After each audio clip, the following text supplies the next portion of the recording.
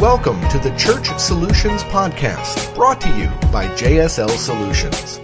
The Church Solutions Podcast is designed to help equip you and your church in the use of technology and other tools and services. And now, here are your hosts, Steve Lacy and Phil Thompson.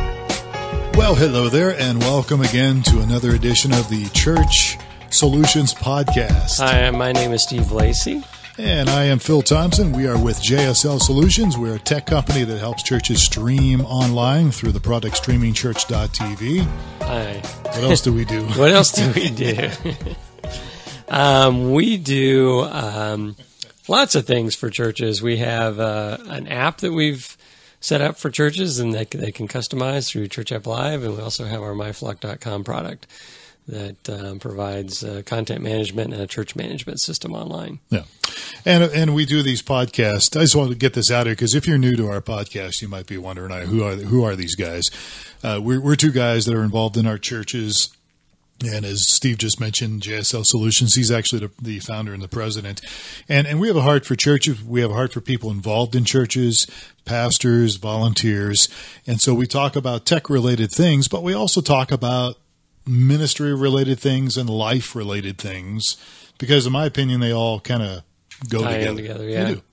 And and what are we going to talk about today? So today we're going to talk about we're going to try to answer the question: Is never offline good for your ministry and yeah, your life? And it sounds like you're still online by that background noise right now. I thought you shut off your phone.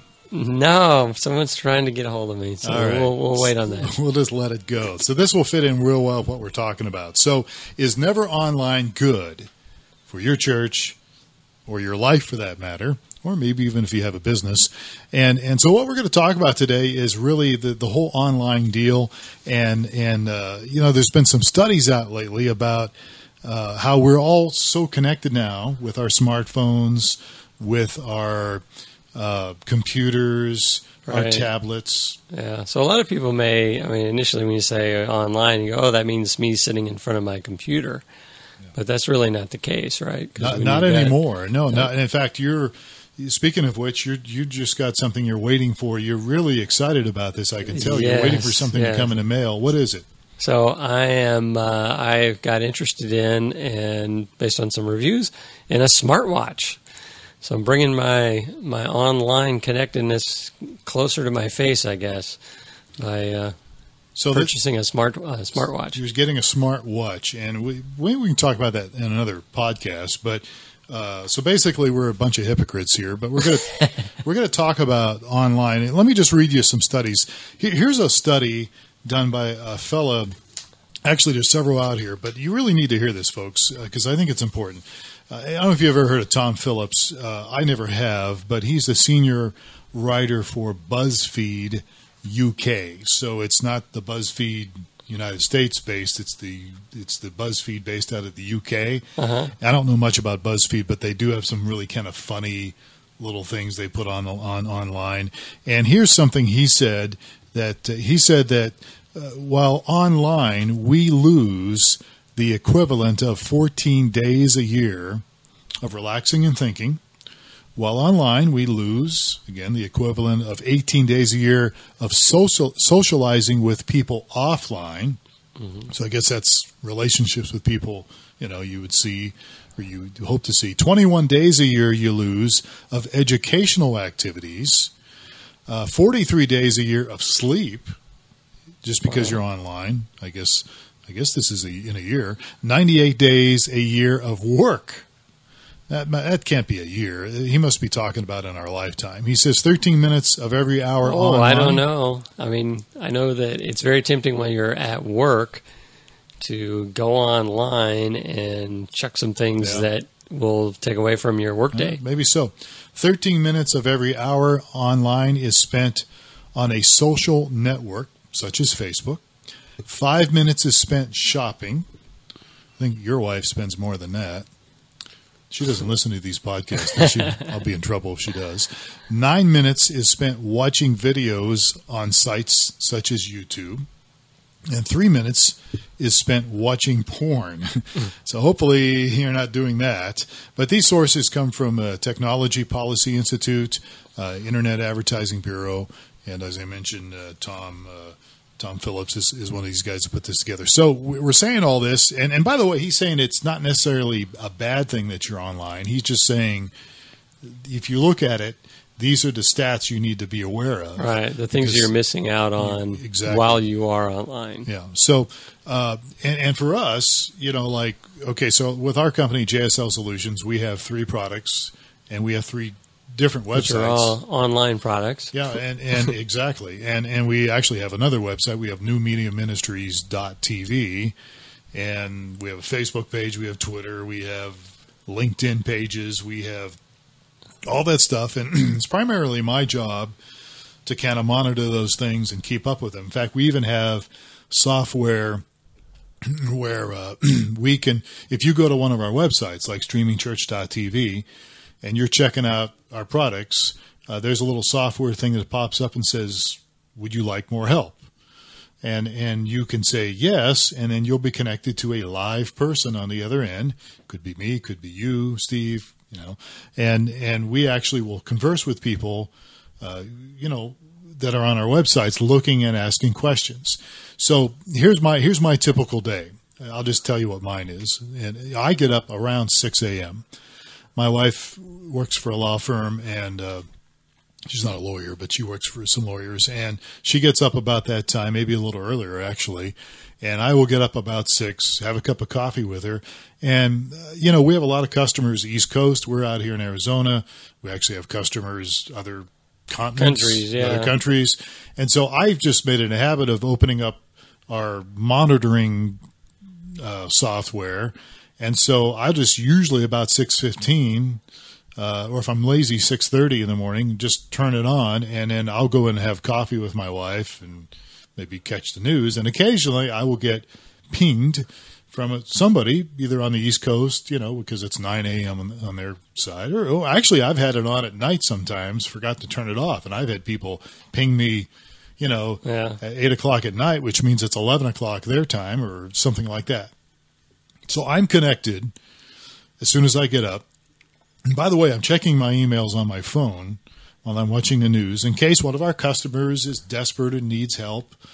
Um, and then I'm I'm on, and I've even got an app on my phone so that if I'm away from my computer and I still want to monitor our three main websites, I can still do that through the app. Right. And, and so if somebody has a question, my phone will ping, and I can literally wherever I'm at, having lunch or whatever I'm doing, I can respond to that question. So I guess I'm probably pretty well connected, aren't I? Oh, I would say so. And I'm very similar in that my days typically, I mean, it's probably a lot, a lot like other people, is you're checking your email before you're even getting out of bed. So that that is me. I'm definitely somebody that is online quite a bit. That we're here to talk about is is you know never being offline a good thing for your ministry or your church.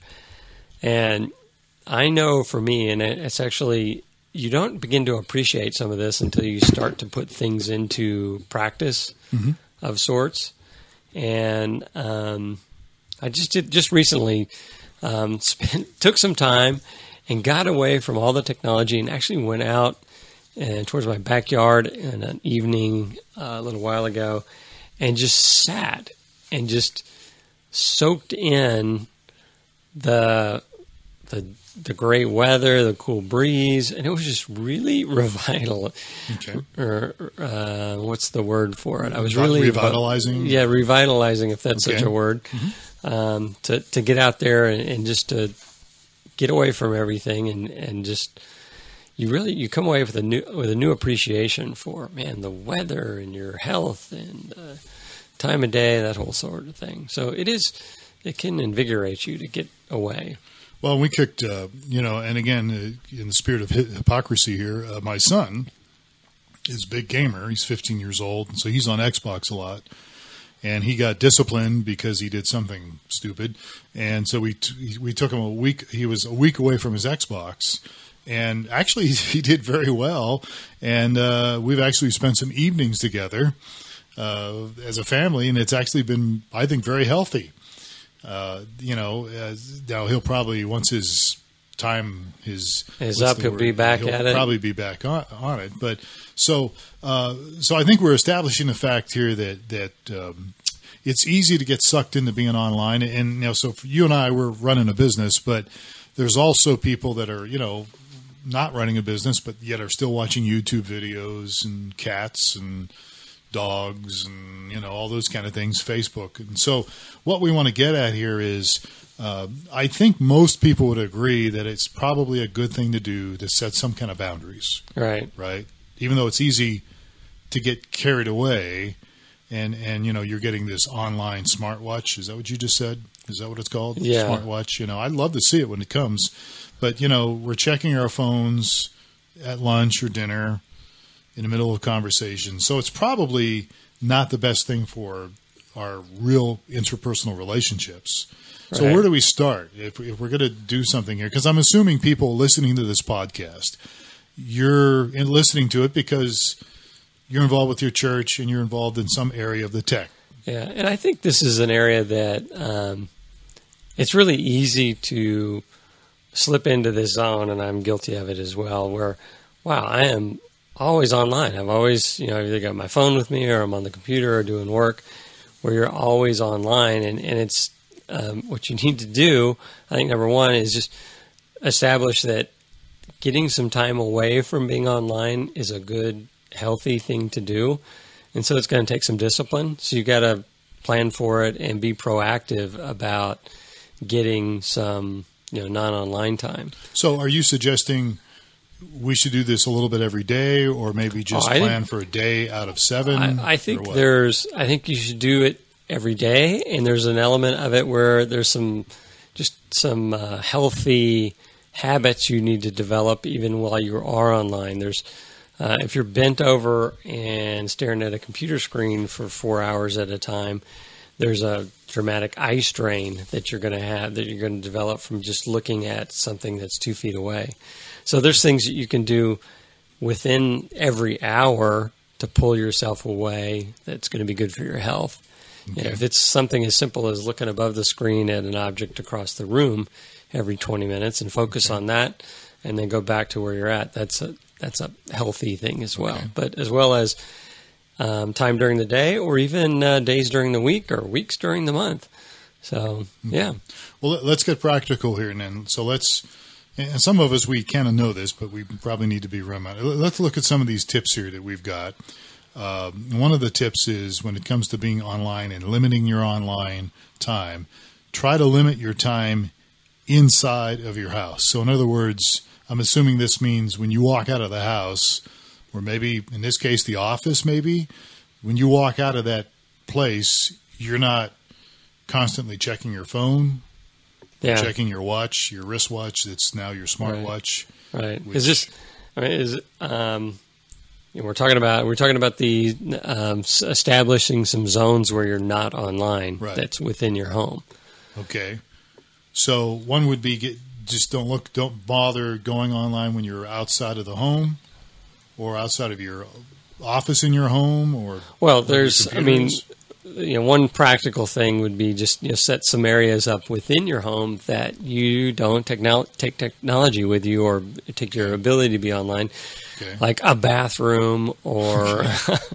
I'm not quite this bad yet. There's not an online device in my shower or anything, but So this might be uh, might fall into the category of TMI, but I have found so I I, I I have an Instagram account, which if you don't know what Instagram is, you might consider for your church or your ministry because it is a good searchable deal. Pinterest is another one, and so a lot of times to kill my to kill the time in the bathroom, the only time I ever look at Instagram is on my phone in the In bathroom. the bathroom. It's the only time I ever look at it uh, because it's just a nice change of pace and everything. But anyway, that was probably too much information. All right, so you're saying put up some kind of boundaries within your home. yeah, set up some some boundaries within the home. You, Okay. you know, either whether it's a bathroom or say maybe a kitchen. Okay. You know, I'm in the kitchen. I'm not going to be uh, Okay. online or viewing screens or wherever Okay. it may be. You know, set right. up some areas that when you're participating in that area, you're you know, you're offline. So l- let me ask you another question here. So what about you know if you're working with a church and you're working with volunteers? Because a lot of I've heard a lot of people say, well, when you leave your church, you know, if you're uh, on staff at a church or something, or or whatever it might be, that you don't go back online. But what if you're working with volunteers who are working during the day at a secular job, or maybe even you're working during the day at a secular job? The only time you can connect with some of these people is, is in the evenings, right? Right. You mean through social networking yeah, or whatever? social networking or emails. Right. So, I mean, what do you do with that situation? Well, I think- just, I again, mean, I think you just want to budget yourself. You Okay. want to. You don't want to set it up so that oh, I'm at work all day and then I come home and I'm online until I go to bed. So, right, so- you just want to set up some either places within your home or maybe you set up some hours within your day that say, hey, I'm gonna uh, read my it. Bible offline. uh, you can even do that online, but Okay. uh, you know right. I'm going to focus on something else during either this time of the day or you know when I'm in this part of the house. See, now I have a guy who um, I work with. He's uh, he's bi- he's a bivocational pastor, and he travels actually quite a bit. He's with a company that does priority management, so he, he works. He flies all over the country. And one of the things I've noticed with him is that he will never. Um, he blocks. He has certain blocks of time set up, so he's bivocational. So when he's at his secular job, you're not going to talk to this guy about church stuff. All He just won't. He won't respond to your emails. He won't respond to your text messages. You know, and then when he's done with that block of time, then he'll respond to church related stuff. Now, uh, part of my job, this little part time gig I have, is is in the area of kind of an executive pastor, executive director. So it drives me nuts because I can't get any re- response from him until a certain part of the time. I mean, I Oh. totally understand why he's doing it, and I, I he's probably right. Okay, Yeah, But- and he's training. his- He's training you as well, right? And Well, so, I- well, I shouldn't try to get a hold of Mark because yeah. it's before five o'clock, and I've learned that I can't. I I don't think he has a problem with me sending emails or even text, but he just won't respond to them. Right, right. You know, so I, I until later.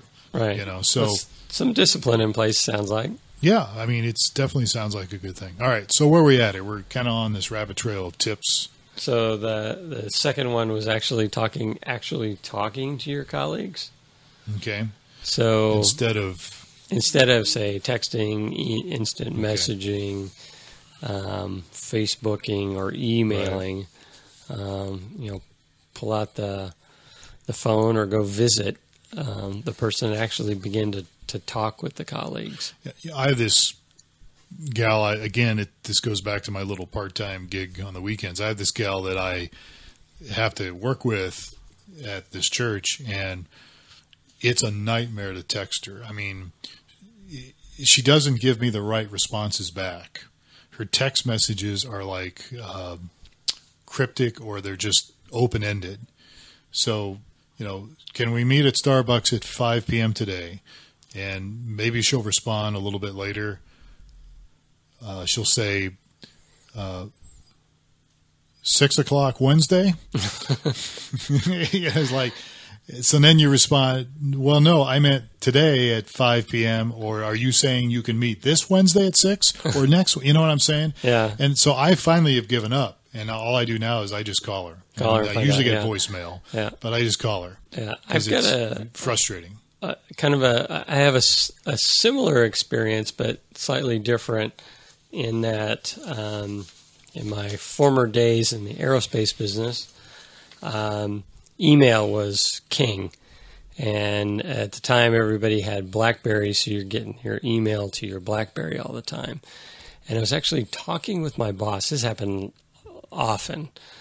And, um, you know, I, I tried to establish some, uh, some, some habits that when somebody came into my office and we were talking, if my phone rang or something was happening, I'm, not- I'm not going to say, oh, you know, I got to distract. I kept my focus on them. Actually, I work, so I work for this boss and we would be in the middle of a conversation and all of a sudden, like mid sentence, even mid, even in the middle of one of his sentences, he'd reach down and grab his phone, because it had vibrated, and he's and he stops and is reading the email, and I'm just I couldn't imagine anything more rude. We're you know we were talking in a hallway, and then all of a sudden he stops and and he's the justification well is you know, it could have been my boss, and if it was my boss, I've got to. And actually, I was not uh, a subscriber to this policy and actually got to in trouble a couple of times when uh, I didn't respond to an email within minutes hmm. of receiving it. So, but it, that's just an example, I think, of being so tuned in to the you know the leash that you, that people had via electronics or the people that do have is just developed some some bad habits, some bad interpersonal habits. You know, you sacrifice even talking to people and that you risk offending people, you take this too far. Wow. That's that's that's yeah. It's not it's not hard to hard to believe. I'm sure it happens all the time. Yeah, and all I'm right, sure so, lots of people have been talking to someone and they, they glance down yeah, at their phone while they're talking. All right, so um, got a few more minutes here. So we're talking about never being online, uh, or how, what are we titling this thing? Never online good for your church or your life is, is never is offline. Never, offline. Yes. I'm, I'm, confused. I'm on medication today. Uh, so um, the bottom line is you, you, need to take some time off. You, you got to block some time off. Yeah, it's um, healthy to get, as I mentioned earlier, just a few minutes even during the hour or some time during the day to yeah. to get offline. So the last or the third thing we had in here, one of the tips was uh, eat meals without your smartphone. so put it somewhere else. Yeah, put it somewhere else. And now my wife um, is very good at this. She, she'll mention, you know, if we're going to go somewhere, she'll rarely take her phone with her. Um, she she goes to work out. She doesn't take her phone with her, and I am not to that level yet. I am, I still um, rely on my phone mainly for you know business and that sort of thing. Um, but um, yeah, this is a tip: go and eat meals without your phone. Leave it somewhere else where you can't hear it or can't get to it. Uh, you know, I think part of our issue, Steve, you and I, is you know we're so we're really big on customer service, and it really does separate us from a lot of companies. And so I think in the back, at least in the back of my mind, I'm thinking, okay, I want to serve when I get an email that comes across or a phone call uh, my first impression is, well, I want to help these guys. You know, uh, either streaming or a mobile app issue or myflock.com website issue. So my first tendency is, well, how can I help these guys in a timely fashion? Right. And we certainly, you know, if you've got an emergency and you're calling us, you know, you, you definitely need, if we don't pick up, you need to leave a voicemail saying, hey, you know, I've got an emergency here. I'm streaming this Tuesday night service and it's not working we'll definitely respond. But I think there are some things that we just honestly it, it, may have to wait because you know but, but my tendency is to try to pick up and handle the thing and and for a couple different reasons one is to help the customer the other thing too is i think if i don't get it now i'm going to have to get it later right. so i'm thinking oh, i'll just do it now and that way i won't have a pile of stuff to do tomorrow you know and so but again that can come back to bite you as a person, as you know, because you're trying to spend time with your family, you're trying to disconnect. And there's and we don't have any paperwork here on this, but I've also read that being online all the time can also create more stress and more mental fatigue and even mental illness by being connected all the time hmm. because you're just not made that way. You're not you're not hooked up to be wired up all the time to something. All right. So, all right. So we got about five minutes here. Uh, why don't we jump into some quick little tips on how you could even help yourself if you have a job where you're always at the computer or you're online a lot. Uh, you know, how can you kind of break the addiction here, or at least uh, make things healthier? One of the things that somebody wrote down here that I picked up was drinking lots of water. That's a twofold uh, benefit, right? Exactly. Well, I, apparently the person said if you keep yourself hydrated, first of all, if you make yourself drink a lot of water, you're going to have to get up and get water, unless you've got the huge fountain right next to your computer. Right. Uh, and then the other option would be after you drink all that water, you got to go to the bathroom. Your bladder is only going to be able to handle so much. All right. So the exactly. idea behind this is it will help you get up, stretch, get away from the computer, get offline a little bit, unless you're like me and you take Instagram in to the bathroom with you. okay. But it actually says here in the notes that we've got here is don't take your iPhone with you. All right. So that's one little thing. Uh, what's another little tip we can share with So people? get out? one another one that I mentioned before we started recording is you know, there's software tools. There's you know Right. that will help um, keep you from going online. I mentioned as we started talking about there was an author that was working on a book and found that um, it's just it's so easy to get pulled into the vortex of oh let let's go check my email let's go into Facebook let's uh, you know check the weather whatever. And next thing you know you're 25 pages and 30 minutes off into some crazy land. So there's software tools that you can install on your computer that will um, say you know from 8 to 5 o'clock today I do not want to go to facebook.com and so the software will prevent them from getting to a particular website or, or websites or doing certain activities on their computer uh, So- during specified times So is this what this is? Is this opendns.com? Is that what that is? It's Um, something like that. It's a free service called opendns.com. Have you heard Uh, about that? uh, I have not heard about that, but I think oh, setting up OpenDN, I think that's that will just allow you to go in and block certain sites. This other one's Okay. a little more user friendly in that it would because you would have to block them and then then unblock them when you did want to get to them. There's these other services. Okay. I wish I had the name of. Uh, there's a couple of competing ones, and I can't remember the names of them right now. All right. That will just just say, hey, um, you know, I'm gonna. I, I don't want to be able to do this during these hours, and you can um, set up some. Of some course, you can always that- go back in there and change it. But here, one of the tips that somebody has here is, you know, you could get this software you're talking about, but have someone else set the password right for you, so you don't have access to the password. Right. Woo, that's uh, putting your life into somebody else's hands. Yeah. But I guess it depends on how serious you are Yeah. About breaking this thing. Yeah. And I think it just takes a little nudge to keep people. Oh, I didn't want to go there. I'm not going to get drawn into the vortex. Right. And you know, if there was life and death where you had to get to some online tool, you Yeah. All right, so we're we're really about out of time here. We've been talking about you know this whole thing online, and and, and I think you know I didn't pull the stats out about this, but I think most of us would agree that being online too much is not a good thing, and it takes away from our relationships. Uh, I mean, there's positive things too. I mean, I, you know, I have Facebook friends from all over the country, places I used to live, churches I used to pastor, off-road clubs I used to be a part of, and it's great to connect, catch up with those people and see them, and and I've even reconnected with a few. But again, it's all things in moderation, right? It's kind of that biblical thing. Uh, take all things in moderation. So I, I would think that, that where you're at right now is your online time you know, adding to your relationships? Is it adding to your family, or is it distracting? Is it taking away? right. And I think that's the bottom line. So uh, here we are, a tech company that has all our stuff online. And we're But- saying get offline occasionally. But I think it's true. I think I think, and I, I think probably I would say daily, like you said at the beginning, Steve, take some time out every day to not be online. Maybe before you go to bed, spend some time, quality time when you're not online.